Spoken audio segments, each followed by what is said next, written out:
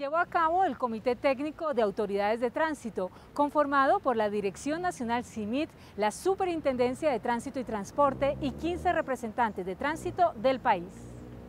En el comité hablaron de temas como el cobro del 35% por derecho de tránsito del Ministerio de Transporte, ley de patios, transporte informal, inconvenientes con la expedición del SOAT y protocolo de la imposición de comparendos por alcoholemia, entre otros. La Dirección Nacional CIMID y el Comité Técnico de Secretarios de Tránsito está atendiendo la reunión que por estatuto está establecida, donde estamos hablando el tema del 35% de lo que está cobrando el Ministerio a todos los organismos de tránsito por trámites.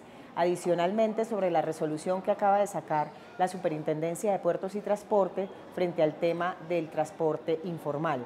Todos estos puntos y todas las inquietudes que tienen las autoridades de tránsito del país se están tratando en el marco de esta mesa. Una de las grandes conclusiones de esta mesa de, trabajo es eh, solicitarle al Congreso de la República a través de un proyecto de ley eh, que se tenga en cuenta una amnistía para los organismos de tránsito frente a ese cobro que está haciendo el Ministerio. Otra conclusión de este tema es que eh, es necesario que todas las autoridades de tránsito del país presenten ese plan de acción de qué es lo que están haciendo en sus organismos de tránsito, cómo están combatiendo la informalidad y todo lo que ha requerido el Ministerio y la Superintendencia para que esto sea radicado ante el Ministerio y le puedan hacer un seguimiento específico y especial a cada una de las autoridades de tránsito.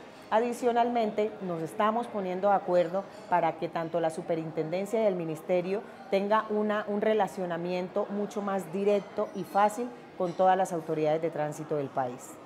Entendemos eh, el enorme reto que representa contrastar nuestra actividad y combatir la informalidad. El transporte informal sin duda alguna debe ser un asunto del pasado.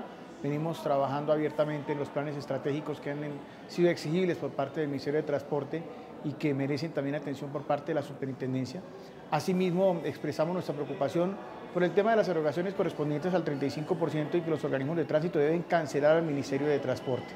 En atención a este tema, estamos expectantes pues de que con un proyecto de ley o bien a través de acciones jurídicas por parte del mismo comité podamos eh, avanzar en esta labor representativa. La ley 1730 o conocida como la ley de patios es un punto que a mí realmente me preocupa mucho en representación de la Secretaría de Tránsito, precisamente porque en este momento ya tenemos colapsados el patio que está concesionado con vehículos, tanto motos como automóviles, camiones, buses, entre otros. Hemos tenido precisamente que bajar un poco los operativos, ¿sí? dejar de operar prácticamente precisamente por este, por este motivo.